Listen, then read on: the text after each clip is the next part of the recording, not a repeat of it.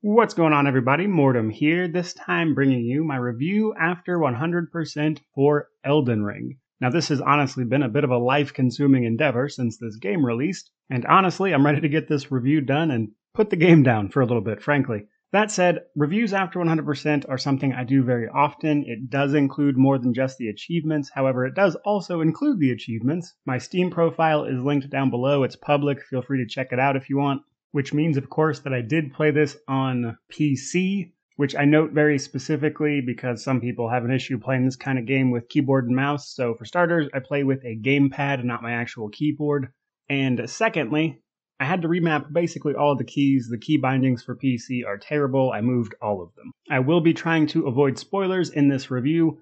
Most of the footage should pretty much be from early game stuff. I'm going to try to avoid showing too much for people trying to just get a feel for the game, etc., or just hear opinions. Mostly trying to avoid spoilers as much as possible. And if this is the first review of mine you're watching, I'm going to go through a bunch of stuff and then give some opinions at the end. But just to sort of set the stage here a little bit, Elden Ring is, of course, a third person action RPG that has been highly, highly anticipated.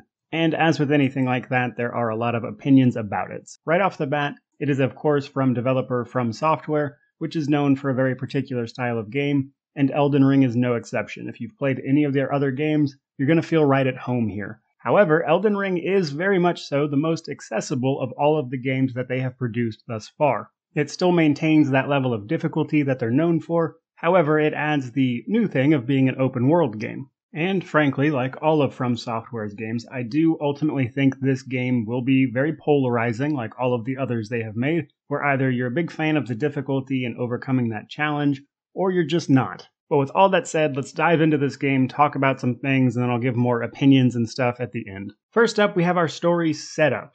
No spoilers here, literally just what you learn in the first few minutes of the game. From the intro, we gather that there was an actual Elden Ring that was shattered. It seems to have originally belonged to the goddess Marika, who's nowhere to be found all of a sudden. However, when the ring was shattered, all of her offspring, the Shard Bearers, as they're now known, took up their shards of the Elden Ring and tried to claim its power. There was a big war called the Shattering. Didn't really work out for anybody, and now beings known as the Tarnished are being awoken from death, more or less, and tasked with gathering up all of the shards of the Elden Ring and becoming the next Elden Lord, which is our main goal for the game. Now, there is definitely more to it than that, but for spoilers' sake, we're going to leave it right there. However, I will say there are three endings to the game. I would say there's the default ending, which is kind of just the ending, really. There's the good ending, which requires more legwork. And then there's the bad ending, which ironically also requires a lot of legwork. And broadly speaking about the story, it is, like most of From Software's games,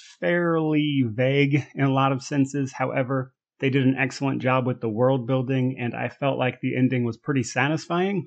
But the way they handle the lore, etc., it's difficult to follow everything if you're not paying very close attention to it. So I can definitely see people getting to the end of this game and having no idea what's going on. But from there, let's talk character creation a bit. So we're going to pick our class. There are several to choose from. Classes are important. They decide your starting stats and equipment, which will give you a kind of push in the appropriate direction for an initial build. However, they do also offer a blank slate class known as the Wretch, who can basically be molded into anything you want them to be, but they start off with no equipment and no discernible talents. Now, from here, we pick our stats. Now, while your class will decide your starting stats, it's still important to understand what they are, so we'll go from there. Stats can largely be divided into two categories, in my opinion stats that increase your resources and stats that increase your damage. So, your resource stats are pretty much vigor, mind, and endurance. These are going to increase your health, your, I believe it's focus points, but I just call it mana, and your stamina, all of which are pretty self explanatory if you've ever played an RPG.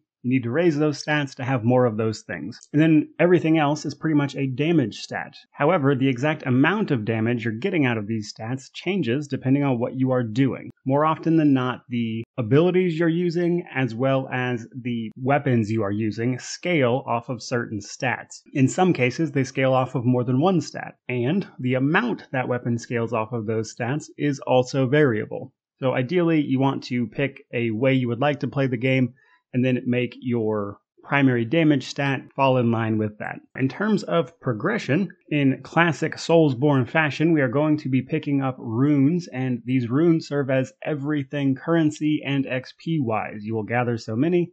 When you have enough, you can go to a site of grace, which we'll get to in a minute, and then level your character up. But again, these runes do also serve as your currency, so you will be using them to buy items, etc. However, this is an open world game, so right off the bat, there are ways to absolutely cheese the amount of runes you're getting at any point in the game, which, if you want to abuse a little bit, can trivialize the difficulty that this game is known for. Now, each level, you're going to get exactly one attribute point to increase your attributes with, so progression can be a little bit slow at times, the progression itself is actually tied to the story a little bit. When you visit your third site of grace, an NPC will show up and offer you a covenant that will actually allow you to use the runes to level up, and she will also gift you a spirit horse, which serves as your mount throughout the game. But I just wanted to point out that this woman is the person that is supposed to be allowing you to use these runes to upgrade yourself, etc. And the last thing I want to mention on character creation is that the max points you can put into any one stat is 99, and you can keep leveling up until every stat is maxed. Though once you get to around level 170 or so, that's when progression can be much more challenging, as at that point you're looking at like 200,000 runes per level up which takes a while even with some farming methods. So if you're really looking to do everything New Game Plus included, because there is a New Game Plus, you're probably looking at like levels 2 to 300, I would imagine, you know, depending on how aggressively you'd like to level up. Now, after character creation, you're just kind of unceremoniously kicked out into the world, as is standard with these games. There is an initial boss fight that you can win, but you are largely expected to lose you die, you get resurrected after a short cutscene, and then the game begins properly. However, I mention all this to tell you that at that point, there is actually a small tutorial to help guide new players. It is weirdly enough in a pit off to the side. But if you jump down there, the game will give you a small tutorial and explain some basics to you. And if you're new to this game, I highly recommend you use that to your advantage, as it is pretty useful. But now that the game has started and we're out in the open world, let's talk about that world with the world building section. Bar none, the world building in this game is incredible and it is the best part of this game. As much as this game is known for its combat and its difficulty, the world building is really the best part. The visuals are very distinctive and memorable. They stand out, they're very cinematic. The world itself is gigantic, it's easy to get lost in, there's tons to explore. But that said, an open world is an open world, and if you hand people an open world, they're going to find ways to abuse it, which is how we get things like the rune farming, which can honestly trivialize most of the game if you take advantage of it. Moreover, certain areas of the world are marked as safe areas, which means you can't attack or anything. This will keep you from killing certain NPCs, etc., which may or may not break the plot line, that type of stuff. But there are areas of the game where you cannot attack and kill everything.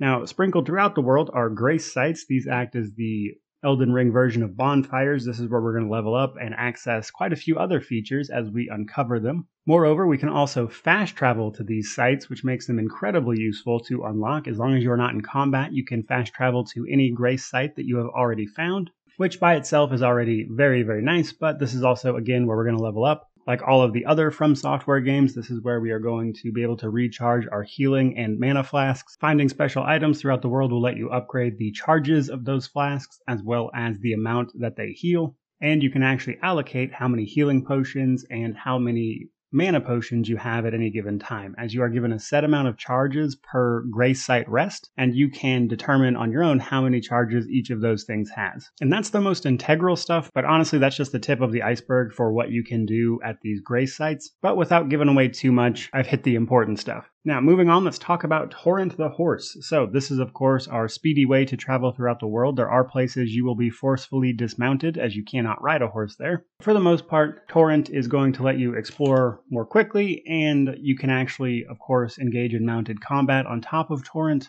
And in fact, in some cases, is basically mandatory. There are a couple boss fights that you will more than likely be on horseback for the entire time. But you and Torrent will go around the rather large world map and you will be discovering things like ruins, mini dungeons, minor erd trees, churches, and gigantic dungeons. So there's the basic ruins, which will just have items and then usually a chest nearby. Those are pretty nice. And then There are mini dungeons, which are usually labeled something something catacombs. These are just small little dungeons that require you to find a lever, which then opens a door that leads to a minor boss fight, and usually there's a decent reward at the end of them. Then there are the minor Erd trees. Erd trees give you tears after you defeat a boss that is present there. These tears allow you to mix a special potion that is usable once per rest. It is customizable depending on what tears you have access to, and can change and vary accordingly and give you all sorts of benefits. But again, you only get one per rest. Then we have the churches. Churches are important because this is where we're going to find our sacred tears primarily,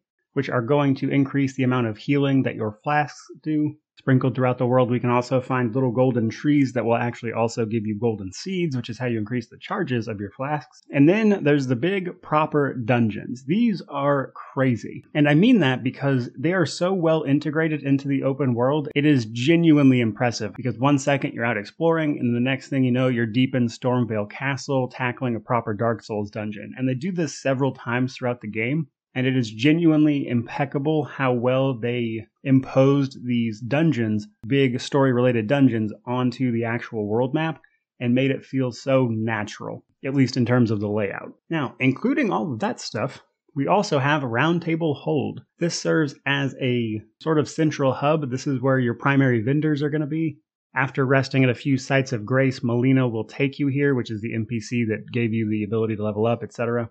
And the roundtable hold is full of all sorts of very useful stuff. You can actually change your appearance here super early in the game. Later on, after beating a certain boss, you can respec as well, but that's in a different location. But this is where pretty much all your vendors are. There's a smith that's going to allow you to upgrade your weapons, which is incredibly important, so you keep doing the appropriate amount of damage, as smithing will increase the base amount of damage you're able to do with a weapon before you start looking at the scaling that is attributed to your attributes. So very important to smith and level up your weapons. There is a vendor here that will accept bell bearings, and giving her those bell bearings will expand her inventory with what she has available to sell to you. So in this way, there is progression to the vendors, as well as making sure that they stay relevant to your needs as you progress through the game. Then there are the Ashes of War. So in this game, each weapon has a special attack, which is activated by pressing whatever button for whatever controller scheme you happen to be using. However, Ashes of War are customizable to weapons. Weapons are not stuck with the special attack that they come with in most cases. They can actually be swapped out with these Ashes of War, which will grant them new special attacks, which makes them even more customizable than they were to begin with. And then there is the Finger Reader, which is a very weird name, but this game has all sorts of allusion to fingers and them being some sort of holy thing which I assume is some sort of reference to the hand of God, if I had to guess. But nonetheless, the finger reader will do a few things for you. She acts as a special merchant for defeated bosses. You can often buy their armor from her after you've defeated them. And moreover, when you defeat special bosses, they often drop a remembrance, and you can turn those remembrances into the finger reader to give you special equipment, usually that boss's weapon or a special spell that they might have been using. So if you haven't gathered by this point, there is so much to do in this game. So I've just rattled off all of the stuff you can find in the open world, all the stuff you can do at Roundtable Hold. There Honestly, though, is even more than that. I haven't even touched on the great runes or the divine towers that you need to go to to activate those runes. And to give a brief explanation, when you defeat the shard bearers, they will drop their version of the Elden Ring, which is their rune. However, you have to go activate it before you can use it, which grants you a very big bonus to usually something like your health, etc. There are bosses just roaming around out in the open world. There's a day night cycle. Some bosses only show up at night the again size of this game is genuinely immense and it's very easy to get lost in it which is why to reiterate the world building is the best part of this game. It is so unique and it is so well laid out at least geographically speaking. There's all these secrets you can find. There's optional bosses. And if you have the patience for it the world is really something else to explore However, the world is also filled with quests, and I do want to mention that specifically. There are quests throughout the game. There is no quest log, so it can be a little hard to keep track of your quests. So what I found personally was really useful was to go ahead and write them down in a journal, like, you know, some sort of log for my quests, like some sort of quest log, if you will. And I just felt like maybe if the game had one of those, it would have saved me some time writing in this journal next to my desk. But in all seriousness, I don't know why this game doesn't have a quest log. I really don't see what that would hurt. I get there are people who argue against no easy mode, etc. And generally speaking, I agree, but I genuinely don't know what having a quest log would really hurt that much. And I really feel like they could easily add something in that's at least vague enough to give you a reminder about what you were doing without spoiling it. They don't have to put in quest markers or anything like that, but they could at least give you some kind of note system at least.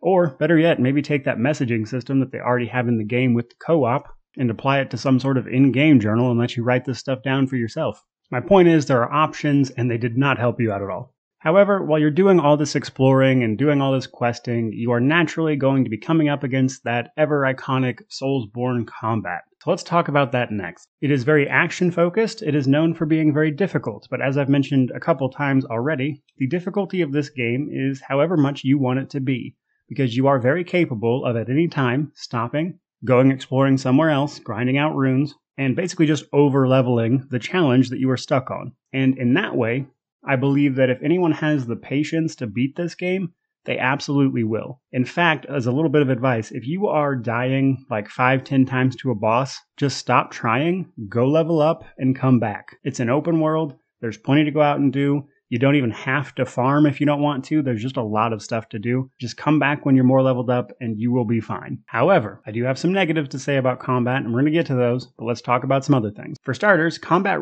largely starts with preparedness. You need to gear up, which involves the smith at the round table hold. You need to be making sure that your weapons stay upgraded. You need to make sure that you have some sort of build in mind, as just blindly raising stats isn't going to help you out. So you need to make sure that you are specifically building with a build in mind. I find that is just by itself very helpful if you know what you want to try to do. And remember your flasks, you can allocate how many charges you have to your healing and your mana, which means if you are not really using a lot of mana, maybe only have like two or three flasks for that and the rest all healing. Now, that said, there is melee combat, there's ranged combat, and then there is magic build. So, for starters, the build variety in this game is very, very high. So, there's a nonsense amount of weapon types. All of those weapon types can be affixed with various ashes of war to give them various special attacks. Then there are ranged weapons, then there are sorceries, which is like your standard magic, and then there are incantations, both of which scale off of a different type of magic stat, faith and intelligence usually. Some of it scales off arcane though, so you do have to be a little careful there. Now, that said, magic is ridiculous in this game. It is so strong, largely because a great number of the enemies are melee focused. There are not a lot of ranged enemies. There's a few, but they are vastly outnumbered by the melee guys, which makes your ability to come in at range very, very strong. To the point where magic builds, I would say, are quite frankly OP. They're very unbalanced in how good they actually are. Moreover, the game has a summoning system. Very early in the game, you can get a hold of a spirit bell as well as some ashes. Not ashes of war, but like spirit ashes. I don't know what you'd call them actually, but they're normally referred to as ashes. But there are tons of these throughout the game, and they will allow you to summon summons at various points in the game. This is in addition to the other summoning available in previous games, like summoning in spirits to help you with the boss fight. This is summoning in like minions that your character can use out in the open world and in most boss fights. These summons will distract the boss, which makes using your ranged attacks or just getting hits in vastly easier, which in combination with some of the spirits that you can still summon in to the boss fights, which was previous in the Dark Souls games, etc., some of these bosses can be made very easy in that way. And broadly speaking, I do believe that the combat is very challenging, but it is very rewarding for overcoming that challenge. That is a sentiment that I absolutely agree with. I don't think they should tone the difficulty of this game down because honestly, there are so many ways to overcome the difficulty of this game as it is that I just believe that there is no need to add more difficulties to this because at that point it would be a different game. But that said, I will say, in my opinion, as someone who has 100%ed this game, quite a few of the bosses are simply poorly designed. A lot of them don't feel challenging, they feel cheap. And in particular, I'm talking about the last string or so of six or seven bosses related to the main story. Of like the last leg of bosses you're going to fight, I liked one of them. I'm not going to go into details because I don't want to do spoilers. I might make a separate video talking about this specifically if people show interest in it. But I do genuinely believe a lot of the in game bosses for the story are just cheap and they're not fun to fight. Which brings me to what is more than likely going to be my hottest take for this review, and that is that I think there comes a point where From Software is using the fact that their games are supposed to be difficult as a crutch for poor design in certain places. Because at the end of the day, if someone dies a lot because something is just honestly poorly optimized, then they're just hit with, oh, well, you got to get good, or, you know, it's supposed to be difficult. But I think that argument at the same time blanketly invalidates that some of these bosses are not fun. They are not well designed. And while I'm on that note, I do also believe that some of the pacing of this game isn't great. You will constantly be hitting progression walls where you've advanced the story a little bit, and then the next area is just way beyond you and you have to double back and you have to go just do all the side stuff and sometimes the story progression is just like very urgent in the way it is being handled and yet now I've got to go do all the side stuff and it creates a bit of dissonance and this is something a lot of games struggle with but I feel like they could have paced this out a little better and it just feels a little jarring for a game that is otherwise so incredible with its world building now, last but not least, let's talk co op, as that is a big part of Soulsborne games. Honestly, it works pretty much the way it works in every other one of their games. You will find items that are various versions of different types of fingers. This will allow you to summon in other characters, allow yourself to be summoned to other characters. This will allow you to invade other people's worlds, etc., etc. But there is this co op element, there is this PvP element. And again, it works the same way it works in every other Soulsborne game that I've ever played. But I will mention, you do not have to engage with this system. You can actually just play in offline mode. There's an option in the menu, at least for PC, to just turn it off. Now, I would argue that a decent amount of that and reading everybody's messages that are left around is kind of integral to the experience. But my point is, if you don't want to deal with that, you really don't have to. As for some people, being invaded is a really big nuisance. All right, so we've arrived at the opinions section of the video. I've tried to be mostly objective outside of one or two notes up to this point, but let's talk about the things I explicitly liked, the things I explicitly did not like, and then give a hard opinion. Now, on the positive side, I think the cinematic boss fights, these gorgeous open areas, the incredible world building and the lore, and all these incredible characters are really, really good positives. The exploration and then getting stronger and building your class up and overcoming these challenges, I think that is a really solid gameplay loop. And because of that, I think this game is rightfully getting a lot of praise. It is very, very good at that. However, on the negative side of things, there are points in this game where it just is not fun. There are times where, again, the bosses don't feel challenging, they feel cheap. And as a result of that, some of the mechanics around the boss fights are real hit or miss. Some of it works, some of it is just not well thought out, in my opinion. Another negative is that the magic system is just way too strong. Like, it's ridiculous how good that system is. Now, largely, I think they could keep it the same, but I think they need to tone the damage back a little bit. Like, I think in general, anyone attacking from ranged should have an advantage over a melee character, but the length at which it is better is a little too much, in my opinion. Moreover, for playing on PC, there were some bugs. Now, they are actively working on this, so I wouldn't worry about it too much. But on PC, there was a lot of stuttering. Late game, I crashed all the time. In fact, typically what would happen is during the phase switch of boss fights, there's usually a cinematic to go along with that phase switch. And there was like a 50 50 shot of my game just crashing during that, which got very annoying very quickly, as you might imagine. But all of that said, let's draw a broad conclusion. The base game is $60 at least on Steam, and honestly, yeah, it's absolutely worth that price. However, I think if you want to get the most out of this game and actually expect to beat it, you need to be willing to go into it with a willingness to either learn and or overcome those challenges because this game is incredibly frustrating at parts. There are times again I just don't think the game is fun.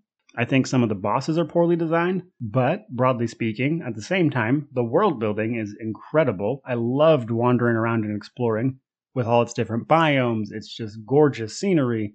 The incredibly cinematic bosses, regardless of whether or not they're good, are honestly a sight to behold. And the exploration and slow power growth reward system is very good at what it does.